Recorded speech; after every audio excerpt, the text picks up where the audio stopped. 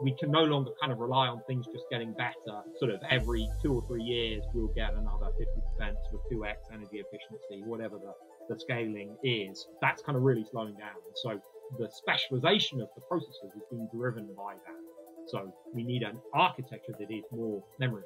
And, it, and if you go back to the kind of fundamental processor, we don't move data very far. So the whole architecture is geared around data staying local to the processing And, the physics of moving data is one of the things that really drives power. So there's there's kind of doing the actual operation, so driving the the computation, and and then there's moving data to and from your memory subsystem. So if your memory is very close. The cost of moving data there is a lot lower, energy cost compared to if, if it's off chip, the um, the cost is a lot higher. And, and this kind of goes into the power consumption of the device. Where are you spending your power?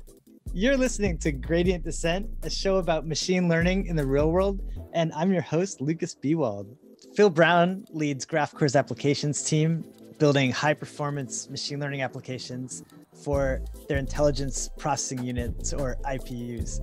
Phil's background is in computational chemistry, which is maybe one of the topics I really wish I knew more about. And what he works on now is hardware for machine learning, which is the other topic that I really wish I knew more about. So I always say this, but I could not be more excited to talk to him today. I really want to talk about GraphCore and kind of what it does broadly and what you're doing there. But I thought it might be fun to start off with. I was looking at your background and I saw that you were mm-hmm originally trained as a computational chemist and then was working at uh, Cray. And we've actually noticed at Weights and Biases a whole bunch of computational chemists using our, our software, which has been intriguing. I, I kind of wanted to hear your career path and how you um, ended up at GraphCore. Uh, yeah, certainly. So it's been a it's been a bit of an, an interesting journey, and I, and I, I mean I would be interested to know what they were doing, whether they, I mean, I guess running sets of molecular da- dynamics or, or sort of quantum chemistry kind of calculations. It seems like there's a lot of kind of drug discovery and some material science. Yeah. Okay. Yeah. That's pretty much what I used to do a long time ago. So running sort of computational simulations of various different states. The way I ended up in sort of machine learning space was kind of via the high performance computing arena. And actually, my PhD was writing computational chemistry code, so quantum chemistry, density functional theory, in, embedded inside a molecular dynamics simulation, and, and, actually looking to try and accelerate the density functional theory, the, the quantum chemistry. Um, chemistry bit of that using very early accelerators. So actually, I was did a PhD at, at the University of Bristol and there was a company in Bristol called ClearSpeed that were building an early numerical accelerator. Think before we had GP GPUs, before that kind of period, or right when the first GPUs were coming out, about the same time the cell processor came out, if there are any other people who were playing around, so PS1, that kind of era. And this this company was trying to build dual precision, so sort of HPC accelerators. And so I was actually writing, trying to use those for, for these kind of computational chemistry simulations. So about 2000 um, five, six, seven kind of time frame. So, and, and actually, as it happens, my boss today is somebody who worked at ClearSpeed and and was building those kind of things. And a number of the, particularly the software team at GraphCore, have kind of heritage going back to that. There, there's a bit of a kind of a Bristol group of hardware and software engineers who have done various kinds of things over over the years. So that was kind of, and that was really what got me in. Um, from being a chemist, I am not a computer scientist in any sense. I kind of dabble a little bit, but I am not a kind of a software developer or a computer scientist. And that that took me from a from a pure kind of chemist into the HPC and the kind of computational science domain of, of high performance computing and, and building systems. And, and, then I, I spent a bit of a uh, couple of years in in a consultancy that was specializing in helping people buy these systems actually and and then went to Cray and and and was helping sort of design and build these systems and actually I, I did a variety of different things but spent a couple of years focusing actually on weather forecasting. So the, the numerical science and how you build large production systems for weather forecasting. And, and, and particularly in the US, NOAA and, and the National Weather Service here in the UK, the, the Met Office, and, and actually around the world. At that time, Cray were building systems for 80% of the large weather centers, so the kind of the national weather centers and those kind of things. So, um, so that was that was kind of great fun. But I, as kind of the machine learning domain started taking off, I was kind of quite interested in, in that as a field. It was clear actually that supercomputing, the high end, wasn't going to continue growing at a particularly interesting rate.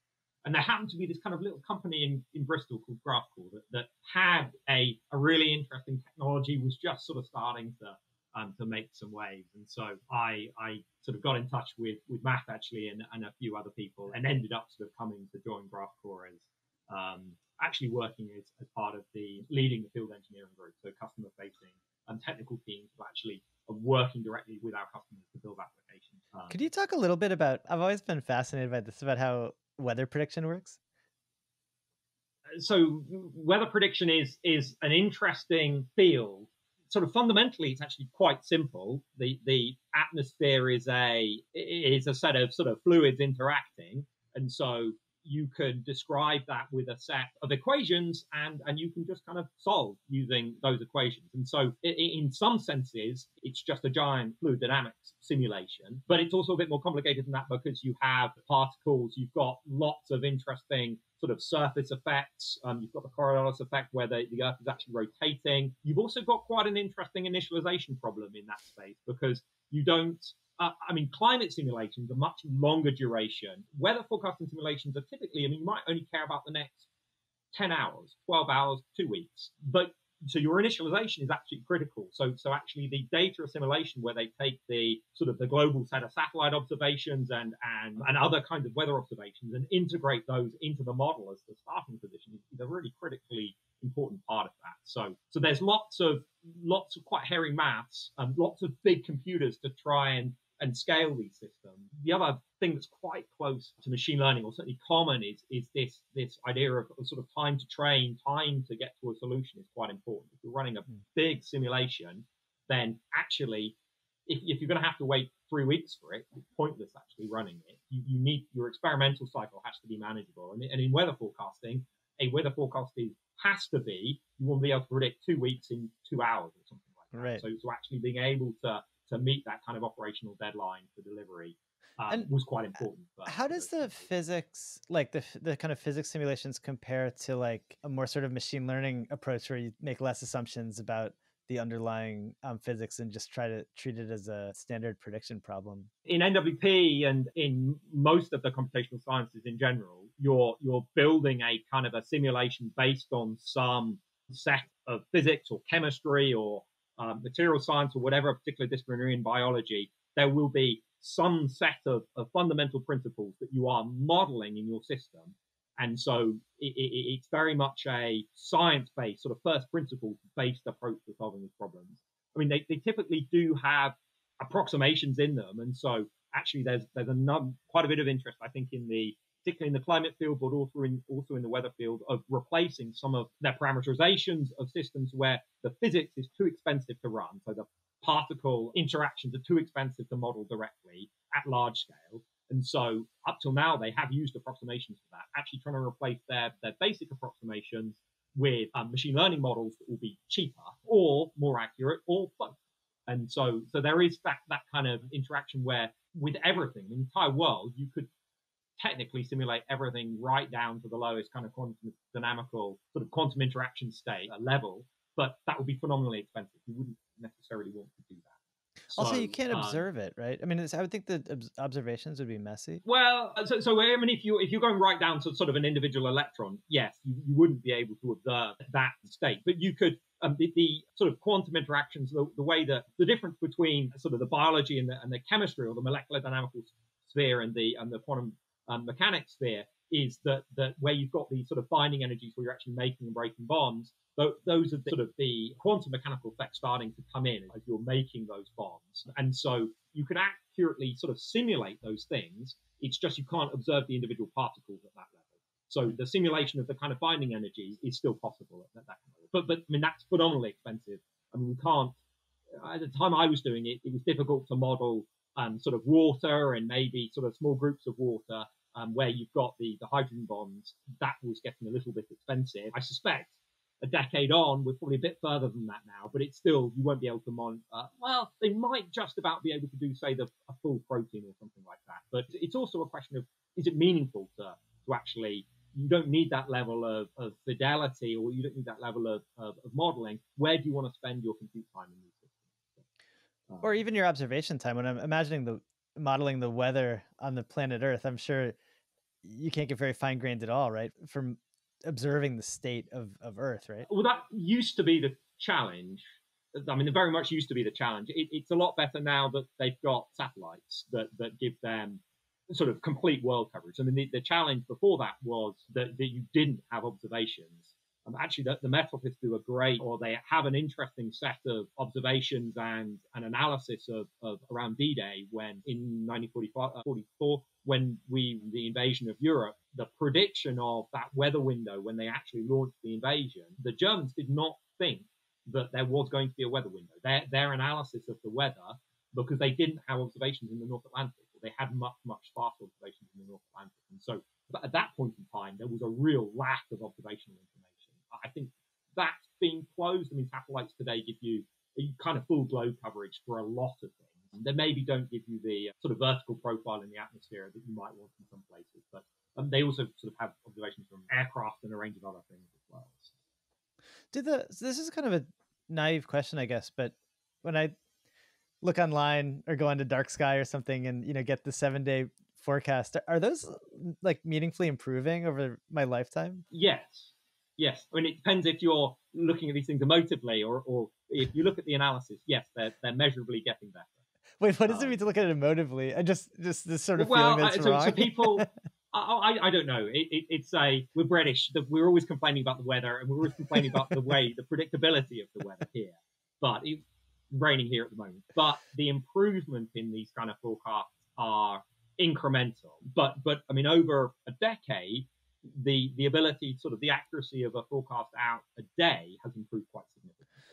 This is probably location dependent, but at what point can you does like forecasting out based on sort of the physics of what's going on stop being meaningfully better than forecasting based on climate or or just sort of like what's the sort of average state of weather? Like, can you predict out like three weeks and, and have like a meaningful gain with a, a physics based um, model? So the numerical systems, and this is getting to the edge of my knowledge now.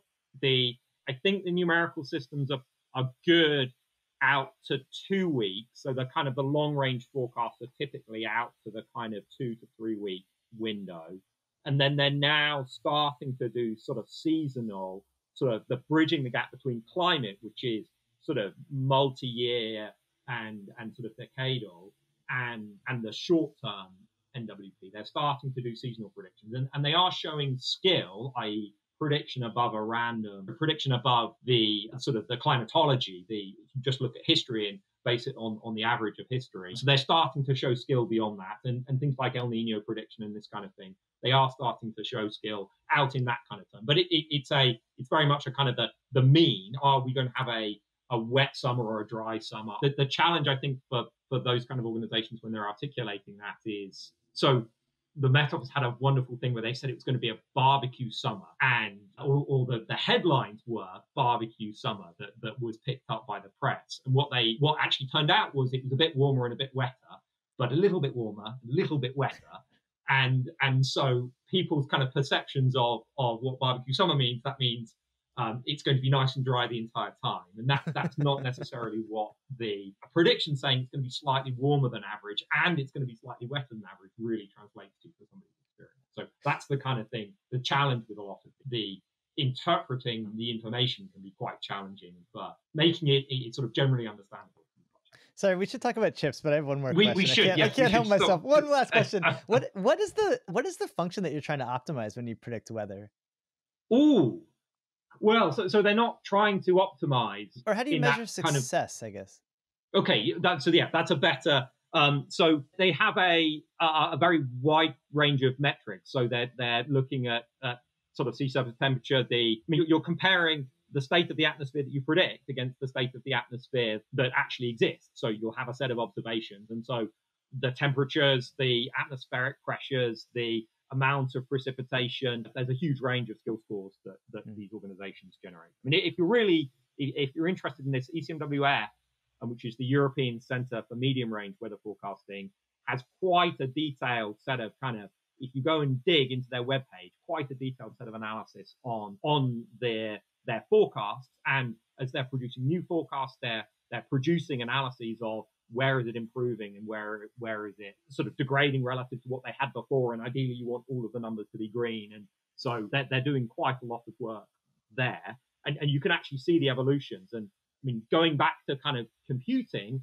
you can actually see the evolutions in computers there as well because they they step up the resolutions as they're getting better systems as they as they work as a software um, team to develop their software.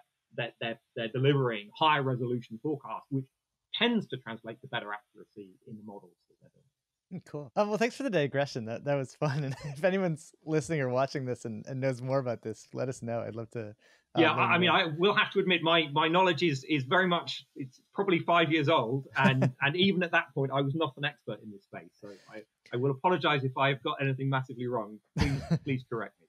Well, it's okay. So I guess you, you sort of mentioned that you felt like high performance computing like wasn't growing as fast as what GraphCore is doing. I guess what what is the difference between kind of high performance computing and GraphCore? Like why why isn't it sort of the same kind of problem with the same kind of hardware solution? Well, so, so I would say that, and I should say I don't um, really know what high performance computing is, so I think I need some definitions here to even understand the the point. Sort of high performance computing in the sense of numerical simulation, where you you're using a set of physics or chemistry to um, to, to, to create a model of a system and, and generate some kind of prediction of, of behavior. That that's or, or uh, generate some kind of output. And, and typically, um, those systems are um, relatively input light. So you'll be inputting a small amount of information, a model of a or the structure of a protein that you want to have and a ligand that you've got an interaction with, or a description of a furnace or something like that, and, and a flame. Mm-hmm. And you want to understand how that system behaves. And so you actually generate huge amounts of information out of those kind of systems. So and, and there's a huge space and it's been going for many decades and and has in the in the past 20 or 30 years and sort of been growing moderately fast. The, the machine learning space is really geared around taking very large amounts of data, very large amounts of data, and, and using that to, to kind of build rather than apply a set of, of, of rules to that data. You're using the data itself to kind of build the model system and, and to learn the rules itself. So it's a learning system rather than a system that you're you're designing to solve a problem. I think that's probably the easiest uh, at a high level. But then I guess what does that translate to? So I can kind of see how those are different, but I'm sort of imagining oh, there's probably a bunch of, you know, bunch of linear algebra underneath both of those problems. Like why do you need different types of hardware to, to solve them well? So well, I, I so the the differences from a from a kind of a, a computational science perspective are um, the the generally the HPC kind of simulations require quite high precision. And there is a bit of debate in that community about whether you really need 64 bit everywhere, whether you should really be doing 32 bit in some places. But, but generally, you need quite high precision for most of that field. And 90% of it, I'm guessing today, is probably done in double precision. What we, with machine learning, you're trying to sort of learn from a very large volume of data and, and make actually a relatively sort of limited set of, of kind of predictions out of it, but it's the learning process. And, and what's become very clear is that you don't need high precision when you're in this kind of learning process. So, I mean, NVIDIA started out, um, or the, the people when they were leveraging the NVIDIA GPUs started out using single precision. The GPUs were good at single precision and it was much faster than double precision. Um, and then people discovered, well, you don't actually need single precision. You can do it in half precision. And so somebody built some hardware that was better at half precision. And, and so they started leveraging sort of 16 bits and people, when they're doing inference, they're using 8 bit int and 4 bit int. And they're looking and people are even playing around with binary kind of formats. So it's very clear that this, this domain has, from a computational perspective, at that level, a very, very different character from a, from a numerical precision perspective, different requirements. Um, and then the other thing that's, that's kind of quite clear and actually quite interesting about this space is that so today we treat everything that we work with, or almost everything that we work with, as dense linear algebra. So if you look at a classic CNN model like a, a ResNet, um, that those that that convolutional network is typically translated for when you're actually doing the maths with it on the computer into some kind of dense structure that you're working with. Even though that convolution could be looked at as, as a relatively sparsely connected pattern. And, and if you look at transformers and, and these kinds of systems that we're, we're using and have, have seem to be eating the world in, in natural language processing, um, they are big map models, big dense matrix objects. But what we also know is that if we train a model at the end, we can then prune it quite aggressively and not lose very much fidelity, particularly if you go through a few training cycles afterwards as well. And there have been a number of papers um, rigging the lottery and, and a number of other ones um, that are sort of theorizing that actually what we're looking for, the systems we're interested in, are actually fundamentally sparse. Um, so we want to be able to train sparse systems. We think if we could train these systems in a sparse way, it would we'd save a huge amount of flops. If we only had 10% or um, 1% of the parameters in the system, we wouldn't be calculating all of these other numbers. And so it, there's a real interest in these systems in, in actually being able to do sparse algebra efficiently and not just for inference, but for training as well. And we also are in a place where OpenAI and, and some of the very large organizations in this space, or organizations with access to very significant compute power, are building huge models. It would be really nice to not have to quite go as far as that. And so if, if I didn't have to build a 5 trillion parameter model and I only had to build a 500 million parameter model, that would save me a lot of compute. It would it would sort of reduce the kind of the cost of, of doing of using that model. It would reduce the cost of training that model. I might still have to train it over a very big data set, but it would make it a lot cheaper to do iterations across that. So that's the other thing I think that fundamentally differentiates the the, machine learning space and, and the problems that we're trying to solve. And, and that's not to say there aren't sparse problems in in in HPC. There definitely are. But that combination of sparse and and low precision, and, and particularly the sparse bit, is not something we've factored um, well, the sparse bit is not something that, that's like uh, really supported, right? In, in in general practice, right? I mean, is there ways to take advantage of that that sparseness now with existing hardware to train faster? So today, or or as of not not not really, and and so this is one of these kind of chicken and egg problems where somebody needs to go and build some hardware that allows you to solve these kind of problems, and then they also but but nobody builds the hardware until the problem's there that really justifies it. And so we are starting to see these kind of things evolve. And so actually one of the things that, that I'm really excited about with our our next um, software release is that we are we're including both um, static sparse libraries, the ability to work with static sparsity. So you know the sparsity pattern up front. This might be the attention matrix in a system, or it might be a, a mask or something like that. You, you can typically know some of these things up front, as well as dynamic sparsity, where you don't know the sparsity pattern. So you can have a changing, and and we can deliver this with actually very very significant performance on on our architecture. That's one of the things about the IPU is it, it was specifically designed to be a very fine grained um, processing system and to be able to target these problems as well as being fast and good at the dense stuff as well. And so it kind of gives you a, and this is the thing, you can build sparse computing systems, but they typically go so much slower than the dense computing systems that actually just running sort of sparse on the dense system, so filling it full of zeros makes more sense.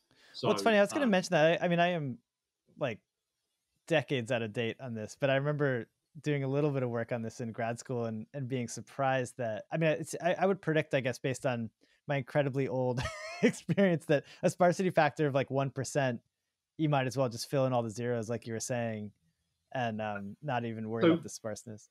Well, yeah, and this is I mean, going back to kind of the HPC space. This is people never use the sparse solvers in the HPC space because they're so slow, or, or, or the sparse linear algebra, uh, unless they've got a like a 99.9% sparse problem, in which case they start making sense. So the some of the interesting things about the characteristics we have in in machine learning is is that they aren't that sparse actually. So they're they're dense enough so that doing the kind of the pure sparse arithmetic doesn't necessarily make sense. But um, we also believe that some of our structures are big enough that you can get away with having sort of small dense blocks within them. And so the thing that's really difficult with, with 100% sparse systems is, the, well, there, there are a couple of things that are difficult. The access patterns moving around a lot is something that's quite difficult to handle. But from a like a really low level computational perspective, the way we get efficiency on, on all of these compute architectures is by having kind of dense block structures that we work with, and particularly two dimensional functional units. And so if you want to keep those busy, you need sort of a block of work that's about the same kind of size as those units. And so for us, those are quite small. They they might be 16 by 16. And so actually in, in big structures, the accuracy degradation you get over a pure sparse system going to a one of these kind of um, small block sparse systems isn't too much. I mean, th- this is, and I, and I say that there's been a very limited amount of work on this because the hardware just hasn't existed. But the, the indications are that there looks like there's a really nice compromise where you can get really great performance with a relatively and whilst whilst leveraging this kind of big sparse system. So, so I think I mean I would say we're right on the kind of the cusp of people starting to be able to really use these systems and sort of fundamentally explore and develop the algorithms, both the sparse training as well as understand the sort of where the breakpoints are. I mean, it may be that we discover actually, no, no, 16 by 16 is too big. What we really want is a 4 by 4 or we want an 8 by 8 And, or we, we actually need, we're going to need a 16 by 16 works great if you're doing GP3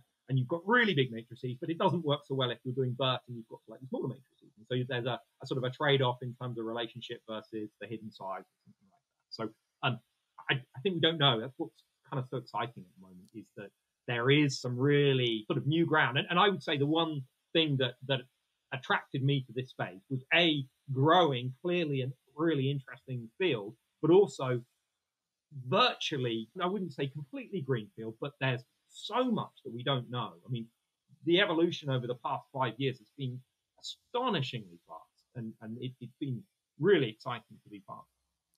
Can I just, you know, I'm trying to picture this, and and you know, I, I'm not an expert at all on on the space, but like, does sparsity help with something simple, like for example, a, convolution? Like, I'm trying to picture what even a sparse convolution would mean. Does it mean like so, like a lot of the parameters are zero, and then my input data is certainly probably not going to be sparse, right? So the, so the stuff I, going to pass through it, it possibly doesn't make sense to think of it in a in a convolution, although you could clearly maybe have a a larger. So typically in a convolution, you have a a small mask that you're you're mm-hmm. moving across your image.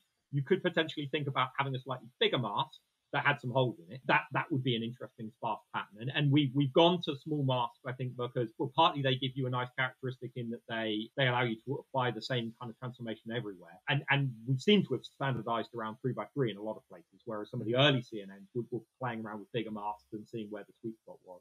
But I, I don't know.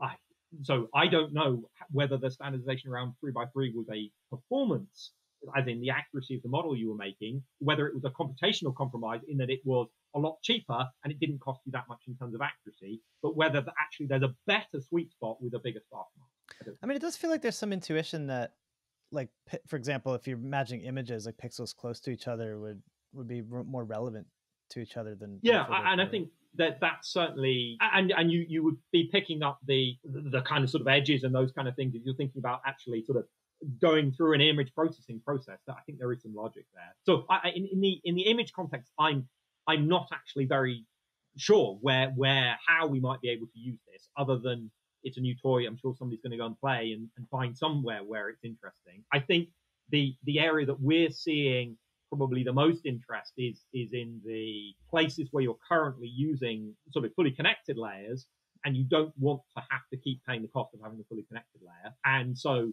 sort of a stacking multiple partially connected layers together looks like quite an interesting approach and an area that we know. And I mean, you see this with CNNs as well. You can prune CNNs really quite heavily after you've trained them and still maintain task performance. So can we train those fully pruned CNNs? Can we train these fully pruned language models from scratch in a faster, more efficient way. So can we rig the lottery and find that lottery ticket within within that large dense model by a training process rather than doing that from scratch? And if we could do that and it's efficient, then we might be able to access an even bigger model because one of the things that limits my ability to train a model is do I want to spend a month waiting for it to train? Probably not, because I'm going to have to do this 50 times, knowing the ML cycles we go through. If I could do that in a tenth of the time, or, or even half the time, a quarter of the time, it maybe gives me access to something that's four times as big. And, and it might be better. And so that's the other interesting thing is if we want to keep going up the curve um, of, of model size and try and drive the accuracy higher, having something that, that gives us more flexibility, it's another lever that we can pull in the or a tool in the toolbox for, for exploring this this this space. So I could see how at inference time a sparse fully connected layer, you could do like a sparse operation. That that seems quite clear. But the training seems tricky, right? You if you don't know a priori where the the zeros are and the, the non-zeros, how, how do you figure that out? Do you is that am I'm asking a deep question that's hard to answer? Is there Can you do you think you could explain that to well, me? I, I mean that, that I think is one of the known spaces because people have not explored this. So uh, DeepMind, I think, published a paper called RigL, and which is, is rigging the lottery, and so which was a way that they proposed to try and sort of discover the the, the right sparsity pattern where you wanted your, your your, parameters to be, and and so I, I think it's I mean we we train these systems through an iterative search effectively where we're we're, we're learning the parameters, it's another parameter you learn. It's the sparsity pattern. So, so you'll be adding parameters in, you'll be taking parameters in elsewhere. You might have information in the backwards pass about where, I mean, so, so one thing you have to be careful of is you probably don't want to calculate the full set of gradients for that, the, the dense equivalent space, because, well, depends what you're targeting. But if you're targeting something that is very big, that could get very, very expensive. And so you, you might want to, for how you get the signal for where you should be adding and removing parameters, maybe it's something goes to zero and you randomly add it somewhere else. Maybe you're trying to come up with some other other method for adding these in. But I mean, that, that's I think one of the things we're going to find out is can we do this efficiently? I mean, it might not work. You never know. Cool. Um, but, so but is this is this like the main? Out the main thrust of kind of Graphcore's point of view on the the hardware that that its sparsity is important, or are there kind of other? I I think th- this is one of the things we're very excited about. Actually, one of the really interesting things right from the start of Graphcore is that founders, Simon and, and Nigel Toon, they, they didn't set out to, oh, we're just going to go and solve deep learning at the time as it was described. They, they set out to say, we want to try and build a computer architecture that's designed for machine learning as a general problem. And so, what are the kind of computational characteristics of this problem, and what do we need to do to solve that?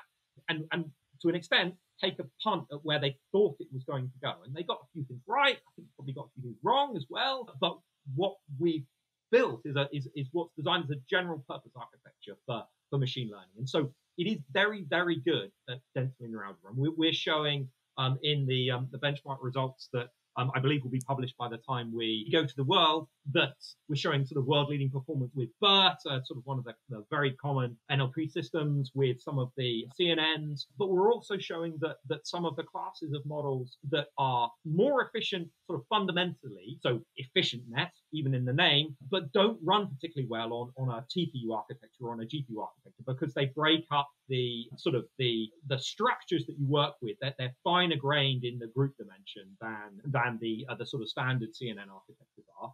Those work really well on our hardware. We we have a significantly better advantage, greater advantage with those kinds of architectures than we do with the standard sort of CNNs. And that's really we are sort of pretty good at both of them.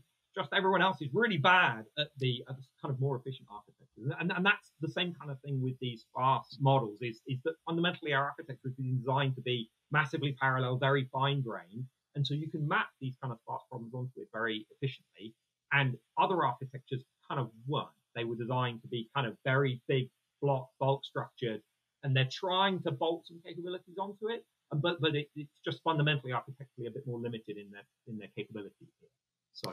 Well, um, so can you explain to me like what why it works better on, for example, BERT? Like I don't think of BERT as a. I mean, BERT's an embedding, right? And those sort of, they're not really sparse, right? They, they're like dense, aren't they? And so, what's, well, what's so, going on that it's it's faster?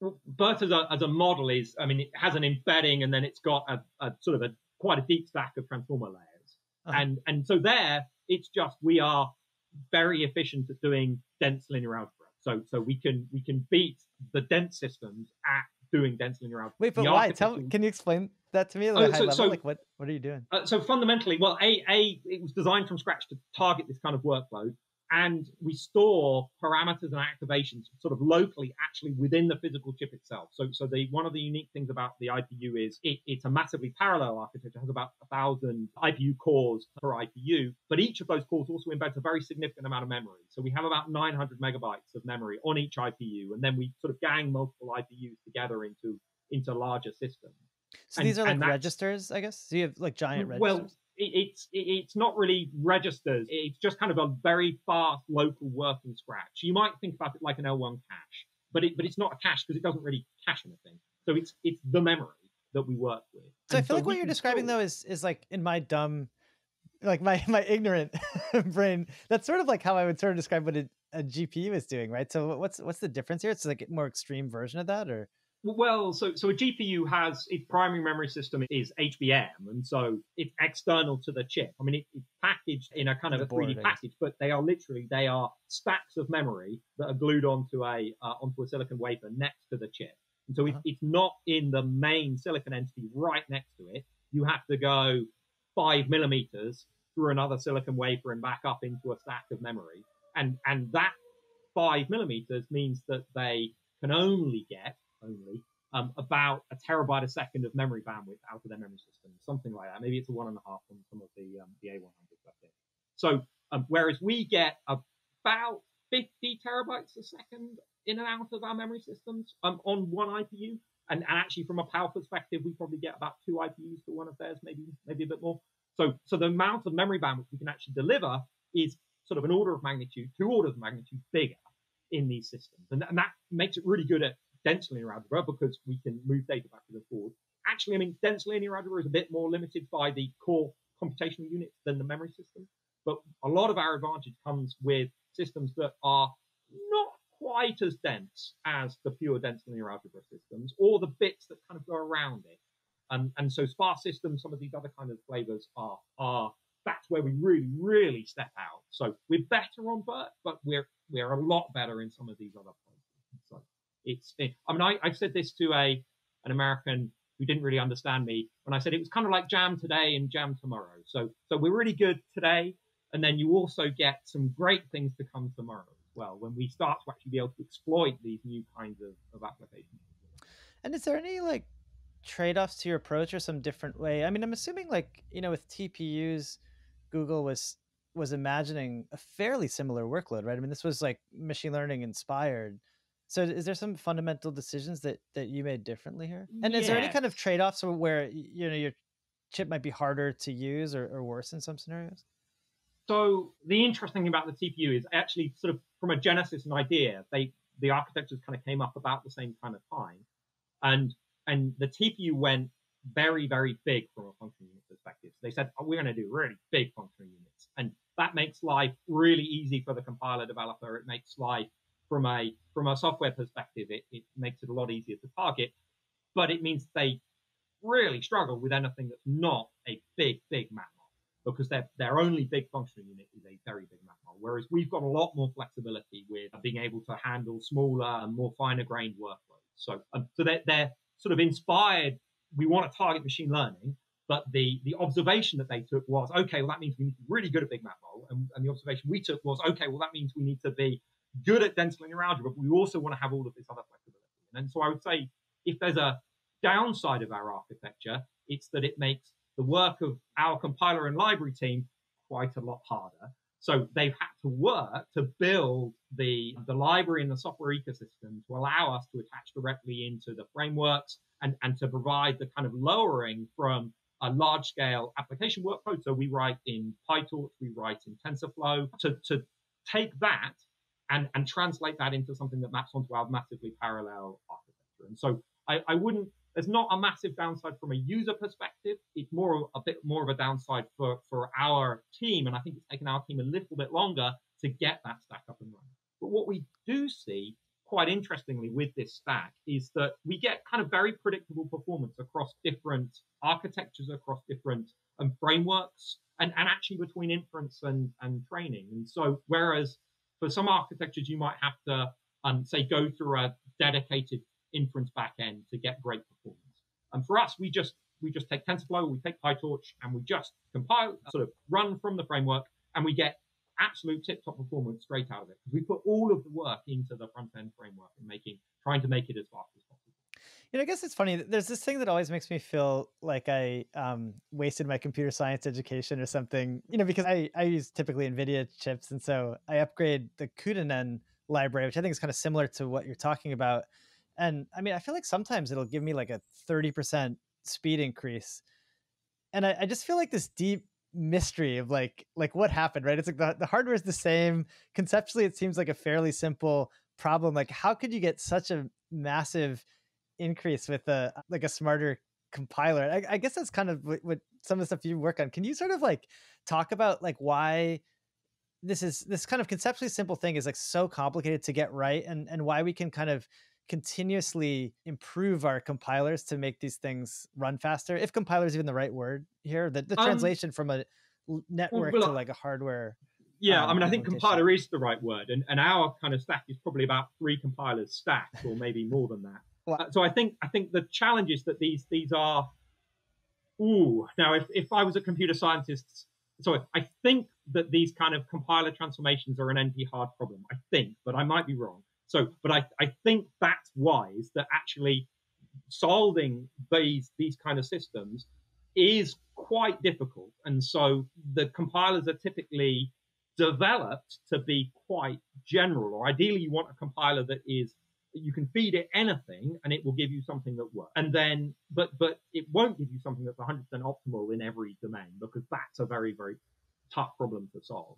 And so as you find new sort of applications and architectures, then you might put a bit of work into trying to optimize the performance of those. And so sometimes what you're seeing is that the software engineers will have found uh, or come up with a, a different way of laying out the data sets or a different sometimes these might be fundamental sort of architectural innovations in that they change the behavior of systems. So the that, that, that I think is what you're observing here is, is that the GPUs have a, a very different execution model. And so sometimes they, when they're fusing and doing some kind of transformations, they can actually, and that, that helps them in some particular areas. So, um, they're, and, and, and they're, well, I, I don't really know too much about the, the development details of, of those kinds of platforms.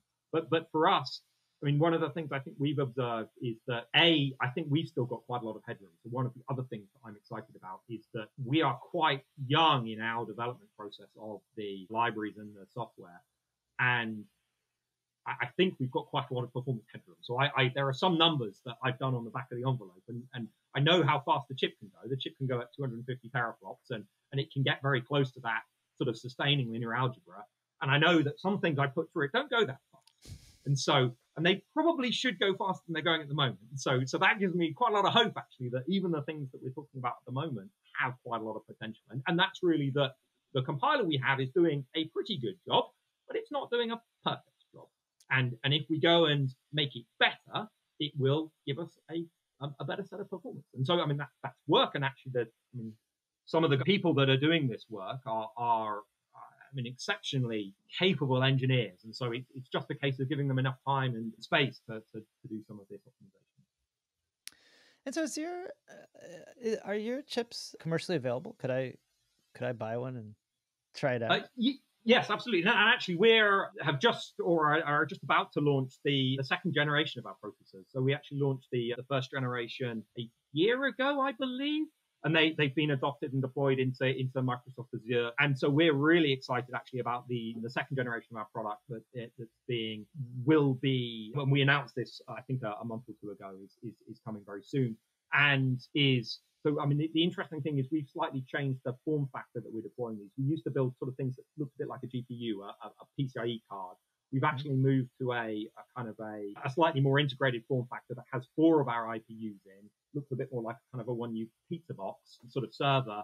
Um, and, and is designed explicitly to scale. And so, so we we've moved from kind of thinking about systems that are sort of server based with a host processor and, and, and, and a set of sort of accelerator cards to a system that's designed to be able to kind of just rack multiple of these IPU um, machines together and, and cable them with an interconnect. And you have hosts remote across the network and, and so disaggregate that, that host from IPU processing, but also scale IPU. So we can go from sort of one to 64 out to thousands of IPUs in a, in a very tightly integrated. So yeah, we're, we're, we're really excited about this. And, and actually the performance, the scalability, uh, all of the kind of aspects of, of, of this as a technology are, are, are really interesting. And, and we're, we're talking about some classes of models, BERT, sort of um, ResNet. We've talked about some of these kind of CNNs. Actually, these are all, I mean, BERT's fairly big today, sort of a couple of hundred million parameters, but it's nowhere near the really, really big models that people are working with. So, so I think that's some of the things that we're we're really interested in is being able to drive the scale of these kind of training systems, but also try and do it more efficiently. And so give people the tools to to train large systems or train systems to, to, high levels of accuracy without needing to, to go all the way into that, that completely dense domain. Do you worry about some of the things that have kind of been in the zeitgeist lately around models getting bigger and bigger, like you know only the biggest companies having access to to be able to train them, or like carbon footprint? Like, is that a real effect? I imagine it might actually help you, but maybe bad um, for society. Uh, so, uh, the societal sort of impacts of access to this technology are a are a fascinating topic. I'm I, am probably not one for, for this because I suspect we could spend another hour on that alone. We're really focused around trying to make this kind of technology uh, uh, available to as many people as possible and also as efficient as possible. And so I think the, the, the way that we'll lower the bar for, for access to this kind of thing is by enabling people to run models that, that are more efficient and enabling them to, to work with architectures that don't require a billion dollars of compute to, to train the model. I mean, the big challenge around that is always going to be access to the data because, I mean, one thing we, I'm a compute person. I think about the compute. We also, to a certain extent, have to think about the data and, and, and access to that and and really that's the bit that that seems to be favoring some of the very large organizations today is just that they have the ability to to pull together the training sets that that most people don't have access to so there are two sides to the kind of the access to this kind of technology story that, that i think are what about energy issues do you think that over time these kinds of chips will become a significant user of of energy i i'm not convinced compared to the, the rest of the fleet of kind of web service infrastructure in the world that that ML's ever going to get to the scale where it's more expensive than they are. So I, I, mean, I think it, didn't Google say that some huge fraction of their compute centers was was doing inference? Oh, I, I, if if they have, I've missed it. So um, that, that would be an interesting observation. That. So I mean, it, it it's not going to be zero, and so uh, it, it, the question I think is whether how much of a percentage of that it is, and and and also how much of it is going to be sort of training versus inference. I mean, I, I guess if they're doing, if they're driving their search backend via inference, and if they're driving all of the backends, uh, sort of Google photos and YouTube and, and all of those kinds of things. And certainly they are, actually, right? I think. Well, I think yes, I get. So, so you sort of follow down that. You know, maybe it is, but it, it's yeah, so I, I, think yeah, you could be right. The the inference workload could look quite large, but again, I think that's probably an area where you would be looking to deploy dedicated chips, and this is why people build dedicated chips is because they're more efficient than the general purpose chips. And so the whole idea of trying to do this is to make something that is more cost effective, so it costs less in in terms of dollars per model trained or dollars per um, inference served to your customer and, and part of that's the power cost, part of that's the procurement cost of these kind of things. And so, so I think that kind of comes into the package. That's why we build these kind of special purpose architectures, or at least specialized architectures. And I mean, the other comment is with the end slowing down of Moore's law, so very significant plateau in, in the rate of improvement or the, the shrink and also the energy efficiency. We can no longer kind of rely on things just getting better. Sort of every two or three years, we'll get another 50% sort of 2x energy efficiency, whatever the, the scaling is, that's kind of really slowing down. And so the specialization of the processors is being driven by that. So we need an architecture that is more memory efficient. And, it, and if you go back to the kind of fundamental processor, we don't move data very far. So the whole architecture is geared around data staying local to the processing entities. And, and the physics of moving data is one of the things that really drives power consumption. So there's, there's kind of doing the actual operation, so driving the um, the computational units, and and then there's moving data to and from your memory subsystem. So if your memory is very close, the cost of moving data there is a lot lower, energy cost compared to if, uh, if it's off chip, the um, the cost tends to be a lot higher. And, and this kind of goes into the power consumption of the device. Where are you spending your power consumption? And so that's kind of one of the premises actually of the IPU is fundamentally more efficient higher floating point operations watts of energy input because we don't move data as far. We try and keep everything as local as possible for as long as possible. I guess one more question on chips, just the the timing. You know, Apple recently came out with a new M1 that a lot of folks are, are talking about that included some ML focused stuff. Do you have any opinion on that? It's well, a, really interesting bit of tech. So, and they showed some quite interesting kind of overall sort of performance improvements. I mean, I think this is an example of, of specialization going out into all of these kind of systems. And I think it's also an example of the spread of, of machine learning and as a workload out into all of these kind of systems. So I'm not sure in the context of Graphcore and, and building sort of data center scale training and inference systems, it's probably not something that, that is particularly relevant for us in terms of marketplace, but it is interesting to see. I mean, we've seen this with mobile phones as well, with sort of dedicated inference chips being embedded into. I mean, I think all of the ones that I've got kicking around have one of these things in somewhere um, that they're using for photos and, and other kinds of things. So I, I, think that's just a kind of you'd almost expect it because every kind of modern consumer facing workload has some kind of ML embedded into it. Right. I, I would guess that most of them do. Well, thanks so much. I mean, this has been super fun. I feel like even if it wasn't being recorded, I've learned a lot. I love it. So we always end with two questions. Um, I mean, I'd love to to ask you these. So the, the first is pretty open ended. Well, they're both open ended, but the first one is also open ended. So the question is, what is kind of one underrated aspect of machine learning that you think people should pay more attention to than they do? So machine learning is a bit of a sort of a chicken and, and an egg in in that because it's built around processing very large volumes of data that requires quite a lot of compute. The kind of bar to actually to get to a kind of a, a, a state of the art solution is quite high, just in terms of the amount of work you have to do from a computational perspective. And so you have to have any kind of data processing algorithm has to be quite efficient um, and be able to run at, at teraflops, tens of teraflops to be able to chew through that. And so either something that's much more sort of data efficient in the way it learns potentially, or something that, that we can find new computational architectures that give us the efficiency on new classes of models. I think those are the things that might be really interesting. Cool. I have to say, it's funny. We've had a bunch of computational chemists talk to us on the show and also in just sort of customer interviews. And they're all talking about graph-based networks. It seems like that might be an area where there's there's a lot of interest. So uh, one of the ones that, that we've been working on, and I'm not sure when we're when we're going to be able to, to publish it, but but is actually a, a graph-based neural network using the Spektral library in TensorFlow, which is and, and it's it's a very small example. It's not anything sort of fancy or um, or groundbreaking, but it, it's just an example, I think, of doing a molecular binding prediction using um, using that kind of approach. Cool.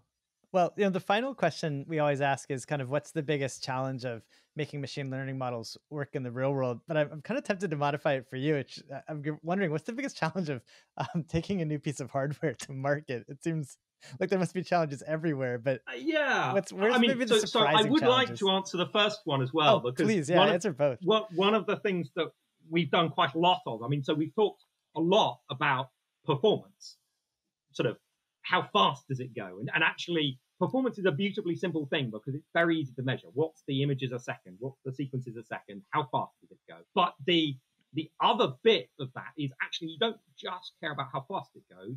You care about it giving you the right answer as well. And so you care about your system converging.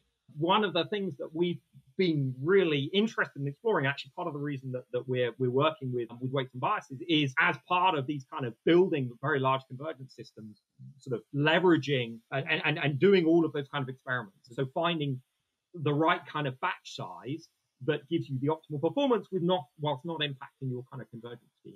So and that, that's one thing that we've been working with. We've had quite a lot of fun, I think, with the numerical behavior in some of these systems, which particularly, so we talk about low precision, good, goes much faster.